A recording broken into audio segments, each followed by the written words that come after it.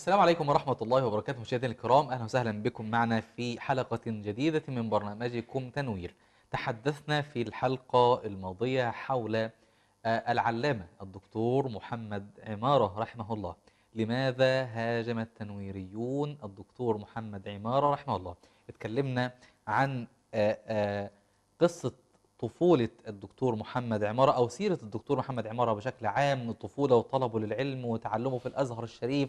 ثم المرحلة الجامعية في كلية دار العلوم الماجستير والدكتوراه. اتكلمنا عن الأطوار التي مر بها الدكتور محمد عمارة الأطوار الفكرية التي مر بها الدكتور محمد آه، عمارة. اتكلمنا آه، عن هذه الأطوار التي قسمها ضيفنا الكريم إلى خمس أطوار تقريبا. أجدد التحية والترحيب بضيفنا آه، الكريم فضيلة الشيخ علي قاسم الداعي الإسلامي مرحبا شيخ علي يا مرحبا أستاذنا الله يحفظك. شرفنا بك للمرة الثانية في برنامج تنوير أسأل الله أن يبارك فيكم اللهم رب. آمين آمين وإياكم.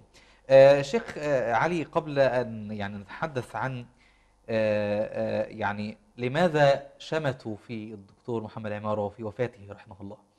آه قبل أن نتحدث عن هذه التفاصيل لا سيما أننا تحدثنا عن أطواره وعن حياته وعن طلبه العلم وغير ذلك. خلينا نبدأ بنقطة مهمة جدا وهي الدكتور محمد عمارة رحمه الله كان رجل صاحب رسالة. كيف ذلك؟ الحمد لله الذي أرسل رسوله بالهدى ودين الحق ليظهره على الدين كله وكفى بالله شهيدا نعم. وأشهد أن لا إله إلا الله وحده لا شريك له إقرارا به وتوحيدا وأشهد أن محمدا عبده ورسوله صلى الله عليه وعلى آله وصحبه وسلم تسليما مزيدا. ثم أما بعد. الكلام عن أستاذنا الجبل نعم. الأشم الدكتور محمد عمارة لا ينتهي. نعم. والحقيقة أنني في هذه الحلقة أسجل الدكتور عمارة الذي عرفت نعم. جميل. ولعل هذا يستهويني أكثر نعم. بعدما تكلمنا عن الدكتور محمد عمارة سيرة ومسيرة نتكلم عن شيء مما عرفته ولمسته في حياتي وفي ملاصقتي وفي معرفتي بأستاذنا الدكتور محمد عمارة رحمه الله تبارك وتعالى نعم. ورحم الله جميع أئمة الإسلام. الدكتور محمد عمارة رحمه الله تعالى كان رجلا ثبتا. نعم. كان رجلا من أصحاب المبادئ. لا يبيع مبادئه ولا يتلون. نعم. الدكتور محمد عمارة رحمه الله تعالى كان رجلا ثابتا. كذلك هضم حق الدكتور عمارة رحمه الله تبارك وتعالى فلم يعين في مكانه اللائق به. نعم. تخيل أن الدكتور محمد عمارة هذا العلم. يعين ككاتب في جمعية استهلاكية.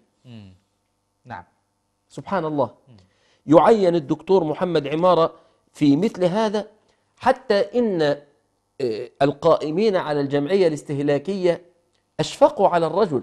ماذا يصنع في هذه الجمعية نعم الدكتور محمد عمارة رحمه الله تعالى انتقل بعد ذلك في السلم الوظيفي إلى التأمينات الاجتماعية ثم انتقل بعدها للهيئة المصرية العامة للكتاب نعم وهنا عمل الأستاذ الدكتور محمد عمارة في قسم تحقيق التراث ليخرج لنا دررا مما أخرج نعم. كذلك فالدكتور محمد عمارة ترك زخرف الحياة الدنيا مم. قال لي باللفظة الواحدة نعم. لقد عرض علي الكثير والكثير من العروض التي يسيل لها لع- لعاب البعض. نعم. كي أكون أستاذا جامعيا في بعض الجامعات الخليجية. نعم. وكي أكون أستاذا متخصصا في أقسام الدراسات العليا والإشراف على الماجستير والدكتوراه في بعض الجامعات الخاصة. نعم. والتدريس في بعض الأمكنة. فتركت كل هذا لأتفرغ لمشروعي الذي نظرت نفسي من أجله نعم. ألا وهو المشروع الفكري الذي سنتكلم عن بعض قسماته ولبناته لبناته إن شاء الله تبارك وتعالى الدكتور محمد عمارة عضو هيئة كبار العلماء. وعضو المجلس الأعلى للشؤون الإسلامية والذي ترأس رئاسة تحرير مجلة الأزهر الشريف أقيل نعم من آه، من رئاسة تحرير آه، مجلة الأزهر الشريف بعدما قام التنويريون الذين نعم سميت وأنا طبعا لي يعني تحفظ بالغ نعم. على وصفهم بالتنويريين. قاموا بشن حملة ضروس نعم. ضد هذا الرجل حتى أقيل من منصبه وأبقي عليه كعضو من أعضاء هيئة كبار العلماء وقد توفي رحمه الله تعالى وهو عضو. من أعضاء هيئة كبار العلماء. نعم. تمام جدا. هذا عن يعني آه، الدكتور عمارة صاحب الرسالة الذي ظل ثابتا طوال حياته رحمه الله تعالى يدافع عن الإسلام وعن أهل الإسلام مهما كانت آه، العقبات ومهما كانت النتائج. شيخ علي آه، نظرة الدكتور عمارة آه، للتراث نظرة الدكتور عمارة للعقل نظرة الدكتور عمارة للسلفية هذه أشياء كثيرة يطرحها البعض. ماذا عن نظرات الدكتور عمارة لهذه الأشياء بشكل عام من خلال يعني علاقتك القوية وتواصلك مع الدكتور عمارة خلال هذه الفترة؟ اسمح لي آه، أستاذنا الدكتور أحمد. نعم. حفظك الله. الله يحفظك. قبل أن ننطلق إلى هذه نعم. النقطة المفصلية في. مبحثنا نعم. أن نتكلم عن نقطتين. نعم النقطة الأولى هي عبقرية الدكتور محمد عمارة نعم في عمق أفكاره. وفي طريقة طرحه أما عن أفكار الدكتور محمد عمارة فالحقيقة أن المشروع الفكري للدكتور محمد عمارة لا يمكن اختزاله في بعض قضايا معينة وإلا أكون قد جحدت هذا التراث. نعم. لهذا الرجل. ولكن يمكنني أن أقول أن الدكتور محمد عمارة رحمه الله تبارك وتعالى استطاع أن يقوم بخمسة عشر شيئا أولا استطاع أن يقوم بتفكيك المصطلحات وبيان حقيقة دلالتها فيما قاله هو وعرفه هو نعم. في معركة المصطلحات. له كتاب بهذا المسمى معركة المصطلحات بين الإسلام والغرب. كذلك فالدكتور محمد عمارة كان له جهده الكبير الوفير في مواجهة الآخر. وأقصد بالآخر إن صح هذا المصطلح الآخر الديني والآخر اللا ديني. نعم. والآخر غير الديني. أما الآخر الديني فهو الذي يختلف مع الدكتور محمد عمارة في تصوراته في منهجيته نعم. في أفكاره وأطروحاته. جميل.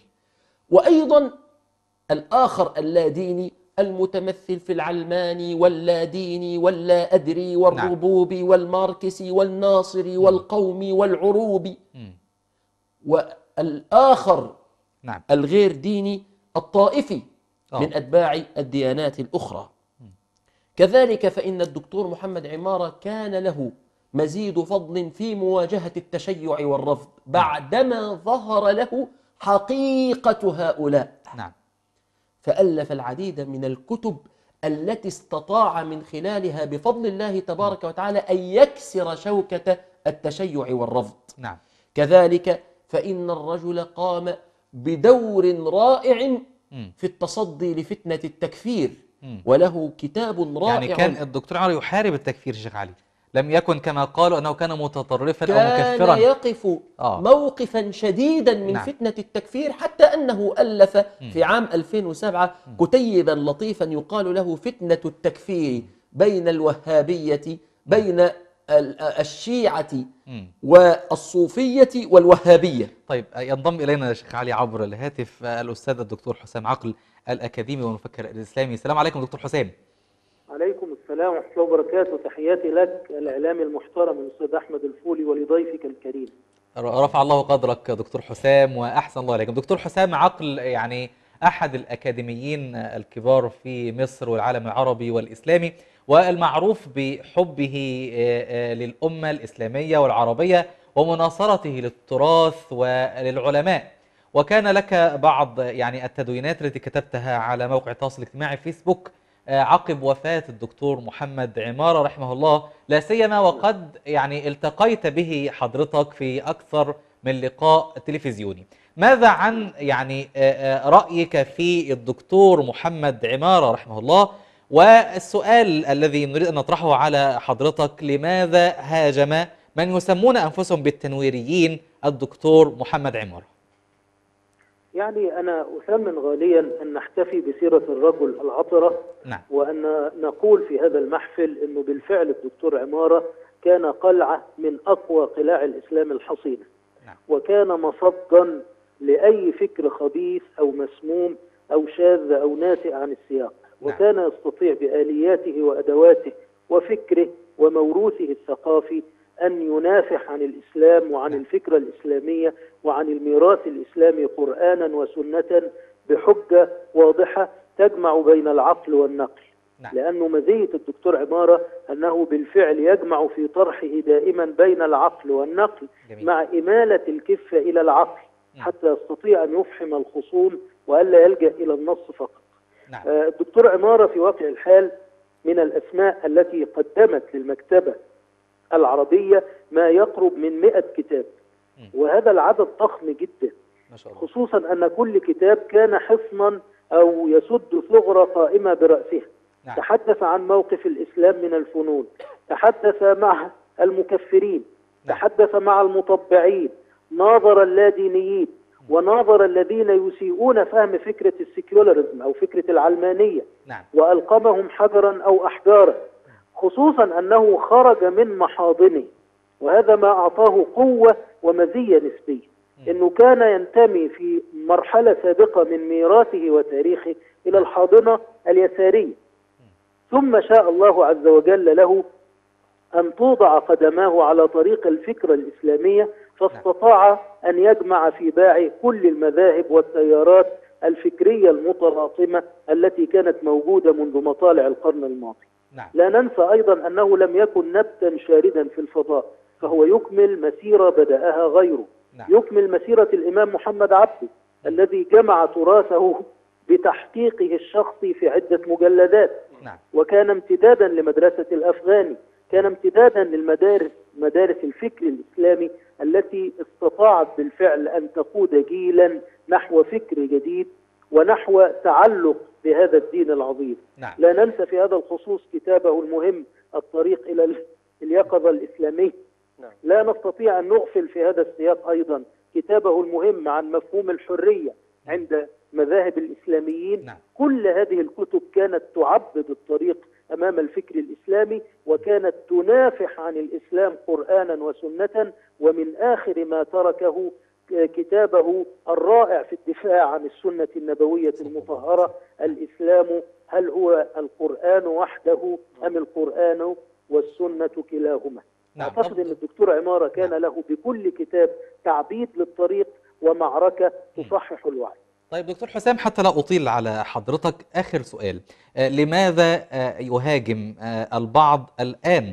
الدكتور محمد عمارة عقب وفاته رحمه الله من خلال القنوات التلفزيونية من خلال الأعمدة الصحفية الهجوم الشديد على الدكتور محمد عمارة لماذا؟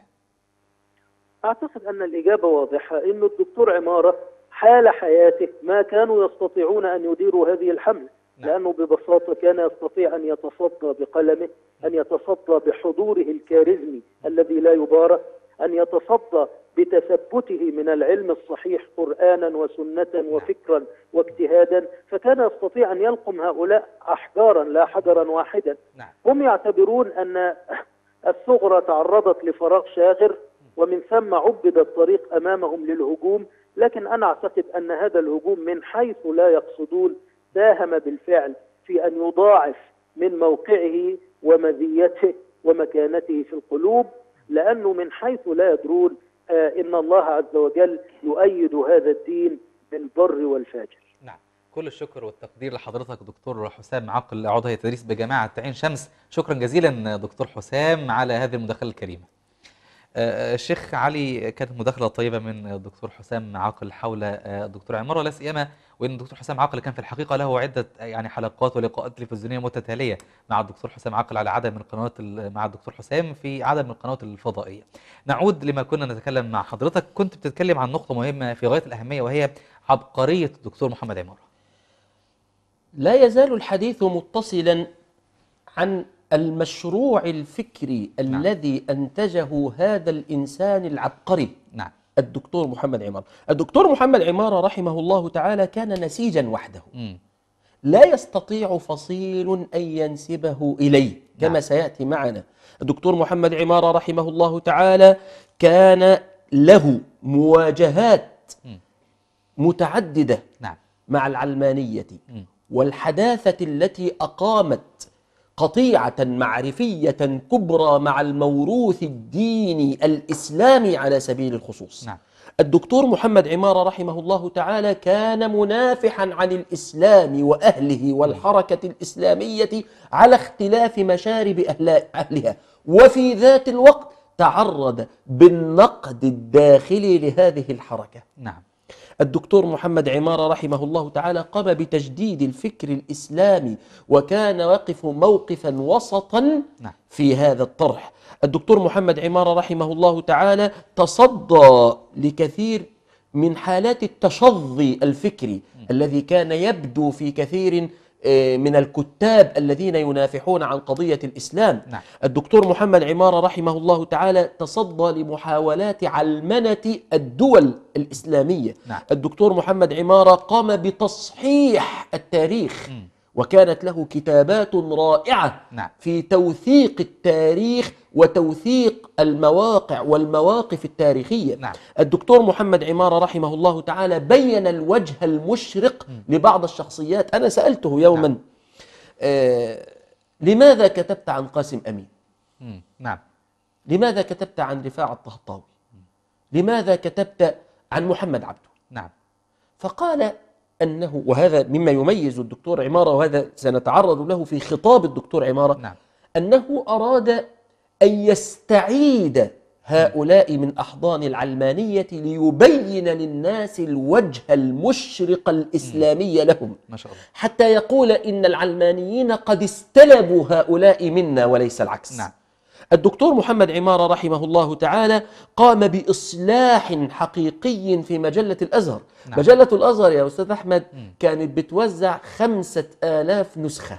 نعم. وكان أكثر هذه النسخ يذهب إلى المؤسسات الرسمية كهدايا. نعم. استطاع هذا الرجل أن يصل في خطة التوزيع إلى سبعين ألف. ما شاء الله. ووصلت وكانت هناك يعني أطروحات أن أن مجلة الأزهر كانت ستصل معه إلى 120 ألف. نعم. هذا الرجل بقي رئيسا لمجلة التحرير في الأزهر الشريف أربع سنوات. استطاع أن أن يستكتب عشرات الكتاب العمالقة في العالم آه، رئيس الإسلامي تحرير مجلة الأزهر نعم رئيس تحرير مجلة نعم. الأزهر. آه، استطاع أن يخرج أكثر من خمسين كتابا كهدية نعم كانت نقلة. نوعية نعم الدكتور محمد عمارة رحمه الله تعالى تكلم عن أسباب التقدم والتخلف عند المسلمين وأسس النهضة الإسلامية. انفتح على العلوم. آه، هل تعلم أن الدكتور عمارة أخرج من جملة ما أخرج المعجم الاقتصادي؟ نعم ما شاء الله. معجم كامل. آه، يعني أنا حينما رأيته فوجئت أن الرجل يتكلم بشكل أكاديمي كما لو كان اقتصاديا مخضرما. نعم. الدكتور محمد عمارة تمسك بقيم الصدع بالحق ومواجهة الاستبداد وأهله. نعم. الحقيقة إن, إن الدكتور عمارة أنا سألته سؤالا مباشرا عن مشروعه الفكري مم. فقال لي باللفظ الواحد كما يقال في العامية المصرية بعظمة لسانه. قال لم يكن مشروعي الفكري الذي في ذهني هو ما يتصوره البعض في إخراج كتاب أقول فيه ما أريد بل المشروع الذي أعنيه هو أن أضع في المكتبة العربية والإسلامية مجموعة كتب تعالج مجموعة من القضايا المعاصرة. يستطيع القارئ إذا قرأها أن تكون له فكرة معينة وعقلية معينة وذلك عن طريق تحقيق نصوص تراثية أو معالجة قضايا قديمة أو تناول هموم أمتنا الحالية. فهذا هو المشروع الذي أسعى لإنجازه منذ 1964 ما شاء الله. وحتى يوم الناس هذا نعم. لتكوين عقل إسلامي أصولي يرجع للأصول والمنابع الجوهرية النقية أي للوحي الإلهي نعم. ويمارس الاجتهاد والتجديد وليس أصوليا بالمعنى الغربي للكلمة نعم وهذا العقل الذي أريد أريد أن يصل إلى ثلاثة أمور. واحد يرتبط يرتبط بالجذور الإيمانية والحضارية. نعم. اثنين يعيش عصره ثالثا يستشرف مستقبله. تخيل أن هذا هو بعض ما وصلت إليه في مسألة عبقرية الدكتور محمد عمارة نعم. أما عن تميز خطاب الدكتور محمد عمارة يا أستاذ أحمد الحقيقة أنني جلست قبل الحلقة لأكتب رؤوس أقلام. ما شاء الله. نعم. عن الخطاب أو قسمات التميز في خطاب الدكتور محمد عمارة. نعم. محاضرا أو كاتبا. ما الذي ميز الدكتور محمد عمارة حين كان يناظر أقطاب الفكرة العلمانية؟ الحقيقة أنني توصلت إلى عشرة أشياء. نعم. أولا أن خطابه كان خطابا مخلصا من قلبه. لا يخرج إلا من صاحب رسالة. نعم. الدكتور محمد عمارة يا أستاذ أحمد أستطيع أن أقول أنه كان جنديا وفيا للإسلام والمسلمين. كان عنده حالة من حالات الجاهزية نعم. لنصرة الإسلام. الدكتور محمد عمارة كان ينتدب نفسه للمنافحة عن الإسلام والمسلمين دون أن ينتدبه أحد. نعم. وهذا لا يكون إلا من رجل تغلغل الإيمان بقضية الإسلام في قلبه. الدكتور محمد عمارة وهذا هو آه، ال- ال- الشيء الثاني أو ال- القسمة أو الأمر الثاني الذي يميز خطاب الدكتور محمد عمارة نعم الهجوم الاستباقي على الخصوم الهجوم الاستباقي على الخصوم مم. هذا الرجل استطاع أن يغير استراتيج استراتيجية المناظرات نعم. دائما المناظرات حينما يكون المناظر إسلامي ويكون الطرف الآخر علماني دائما ما يستأسد العلماني على الإسلامي آه. فيجعل الإسلام في خانة الدفاع للهجوم. الدكتور محمد عمارة استخدم نفس الآليات ونفس المصطلحات مصطلحات النقد الهجومي على الخصم. استطاع الدكتور محمد عمارة أن يقف وقفة شديدة مع كل خصومه نعم. إيه، في المناظرات. كانوا يقولون إن الشيوخ والمتدينين إقصائيين تكفيريين لا يؤمنون بالآخر. استطاع الدكتور محمد عمارة أن يوظف هذه الكلمات ليجعلها لخصومه لا للإسلام وأهله. نعم. ثالثا من القسمات المميزة لخطاب الدكتور محمد عمارة إعادة تفكيك خطاب خصومه واستخراج مصطلحات كثيرة مما يقولوه مما يقولوها ويفهم دلالتها ثم يعيد تدويرها مرة أخرى نعم. لتكون لصالح الإسلام والمسلمين. معركة فهم المصطلحات واستلاب هذه المصطلحات من الخصوم. نعم. رابعا آه، الدكتور محمد عمارة أجاد أجاد بقوة أو كسر شوكة الخصوم. فكان يكسر الشرسين نعم من الخصوم وكان يحيد طرفا من الخصوم طب لماذا؟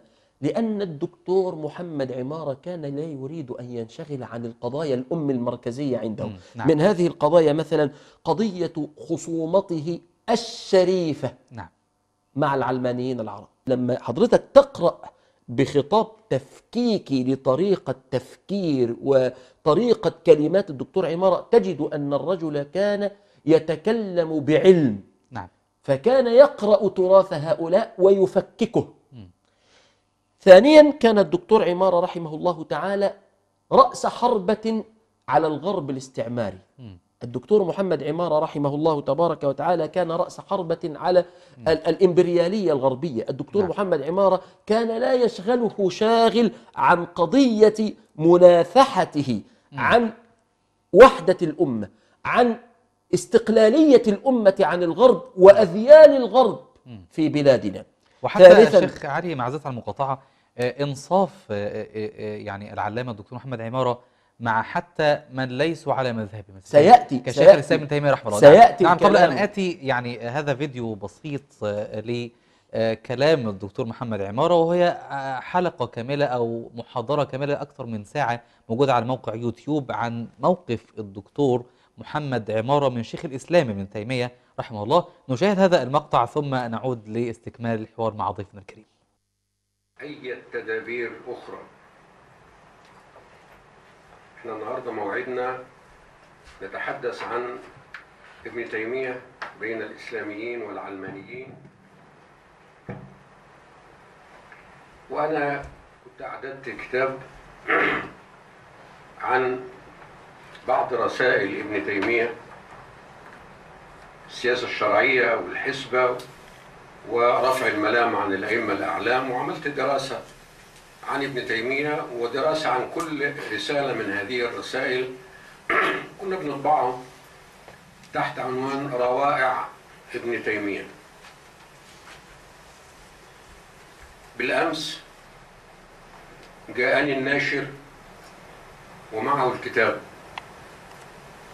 هذا هو الكتاب. فقلت له من حسن الطالع إننا غدا سأتحدث عن ابن تيمية. صدر الكتاب وجاءني به بالأمس وأنا جبت هذه النسخة لمكتبة المركز.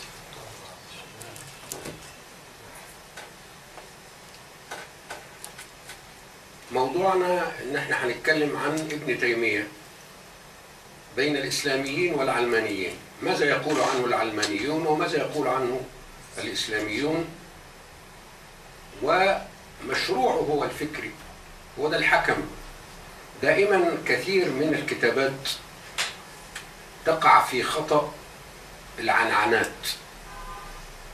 يعني كثيرون كتبوا عن رفاعة الطهطاوي ومحمد عبده وجمال الدين.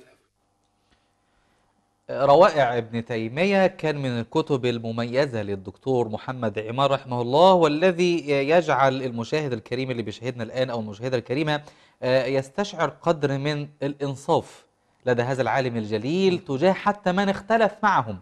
كشيخ الإسلام ابن تيمية رحمه الله أو غيره من علماء المسلمين. دكتور علي أو الشيخ علي قبل هذا الفيديو كنت حضرتك بتكلم عن ما ميز خطاب العلامة الدكتور محمد عمارة. سامحني أنا أريد أن أنتقل إلى نقطة مهمة جدا وهي نظرة الدكتور عمارة للعقل وللسلفية.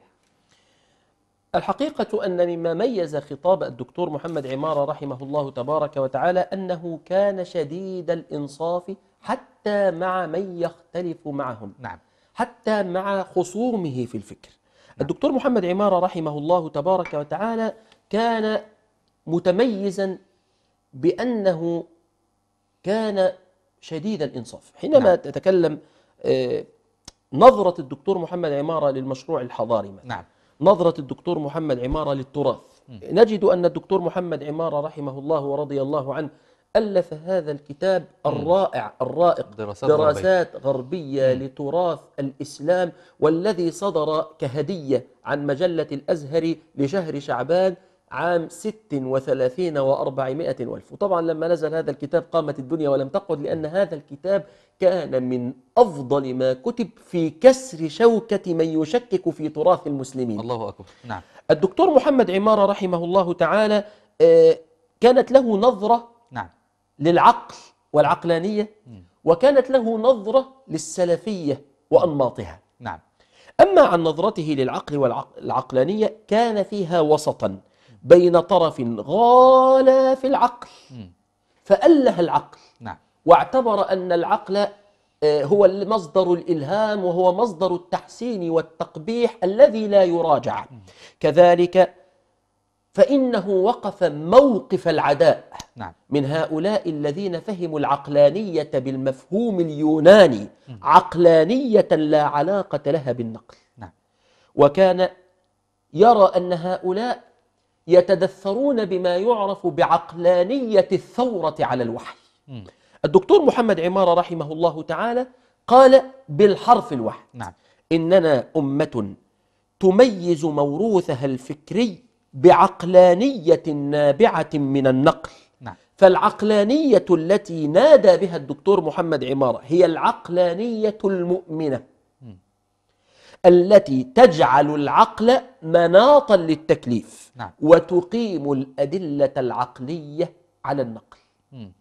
هكذا نرد على هؤلاء الذين يخوضون في عرض الرجل ويتهمونه صحيح. نعم. بالاعتزال نعم أما عن نظرته للسلفية فكانت نظرة إنصاف.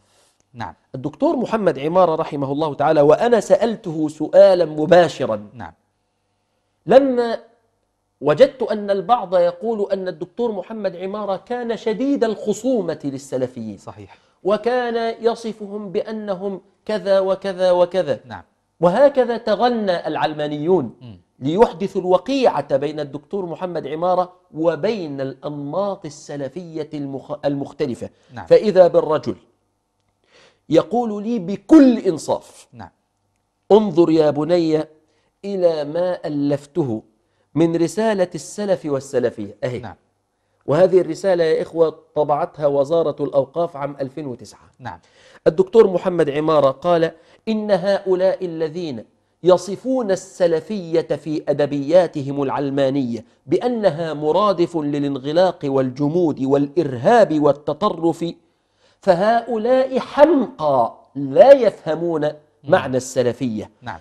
بينما السلف يعني الماضي وسلفنا ليس عصر التراجع الحضاري بل سلفنا علماء عصر الازدهار الحضاري. نعم. قال في رسالته السلف والسلفية إن السلفية هي العصر الذهبي الذي يمثل نقاء الفهم والتطبيق للمرجعية الإسلامية قبل ظهور الخلاف والمذاهب والتصورات التي وفدت على الحياة الفكرية. نعم. تكلم الدكتور عمارة رحمه الله تعالى عن السلفية وقال إن السلف الذين يشملون الصحابة والتابعين والأئمة العظام للمذاهب الكبرى من تابع التابعين هؤلاء هم عظماء الإسلام الذين يجب أن نحترمهم وأن نجلهم وأن نسير سيرهم. نعم. ثم تكلم الدكتور محمد عمارة كلاما رائعا عن أئمة السلفية. لك أن تعرف يا أستاذ محمد أنه آه، وصف السلفية ب- السلفية التجديدية نعم. وأئمتها بأوصاف لم يذكرها السلفيون أنفسهم مم. يعني تكلم عن ابن عقيل تكلم عن الإمام ابن القيم تكلم عن شيخ الإسلام ابن تيمية ونعته بفيلسوف السلفية نعم. ألف كتابا كاملا يقال له رفع الملام عن شيخ الإسلام دافع عن شيخ الإسلام ابن تيمية ضد هؤلاء المناوئين له الذين يقولون بأنه كافر وأنه أسس الانغلاق نعم. وأنه وأنه ما شاء الله دافع الإمام الدكتور محمد عمارة عن كثير من شيوخ السلفية نعم. في العصر الحديث. هل تعرف أنه نافح. عن الإمام محمد بن عبد الوهاب مم. رحمه الله تحدث تعالى؟ عنه. وال... ده تحدث عنه. ده التمس له كثير من الأعذار. نعم. وحتى حينما نقده كان نقدا مهذبا مؤدبا.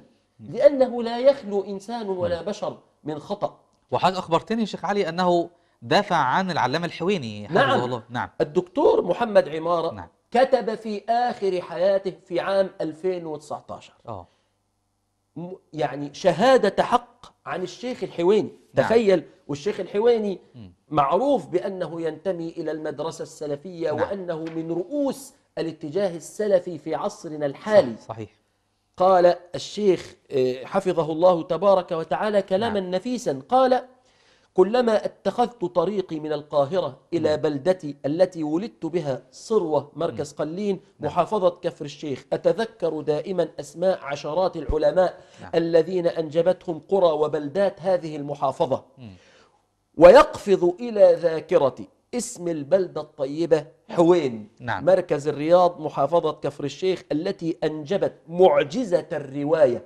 لحديث رسول الله صلى صلى الله عليه الله وسلم. عليه وسلم العالم الجليل والعلامة المتفرد أبا إسحاق الحويني نعم. الذي كلما سمعته يحدث الناس بأحاديث رسول الله صلى الله عليه وسلم صلى الله عليه وسيرته بلغ بي الانبهار إلى الحد الذي تقفز فيه إلى ذاكرتي نماذج العلماء الأعلام نعم. الذين رابطوا على ثغور جمع السنة النبوية والذين أبدعوا ذلك العلم الذي نباهي به الأمم كل الأمم علم الجرح والتعديل الذي تفردت به حضارتنا وحفظت به سنة رسول الله صلى الله صلى عليه الله وسلم. نعم.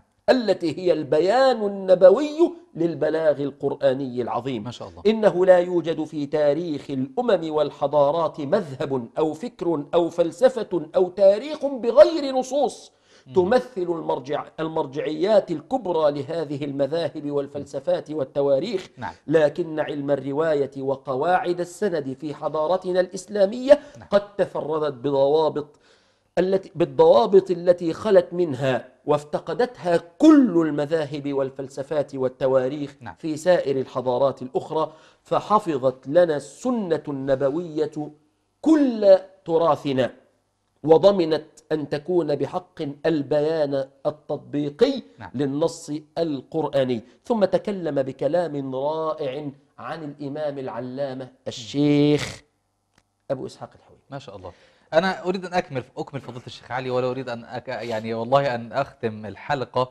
لكن سامحنا لضيق الوقت. أنا أريد أن أختم بنقطة واحدة وهي مهمة. آه العلامة الدكتور محمد عمار رحمه الله كان بشرا يخطئ ويصيب. أما أن الدكتور محمد عمارة بشر فهذا مقرر. نعم. فهو بشر يخطئ ويصيب بلا خلاف. نعم. وأما أن الدكتور محمد عمارة نختلف معه فهذا لا يضيره صحيح.